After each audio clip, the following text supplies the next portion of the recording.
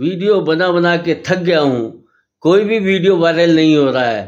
लेकिन मैं झुकेगा नहीं